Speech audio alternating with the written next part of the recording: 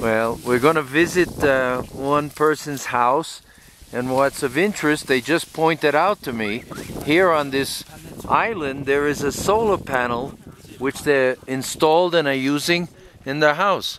We can go in? Thank you.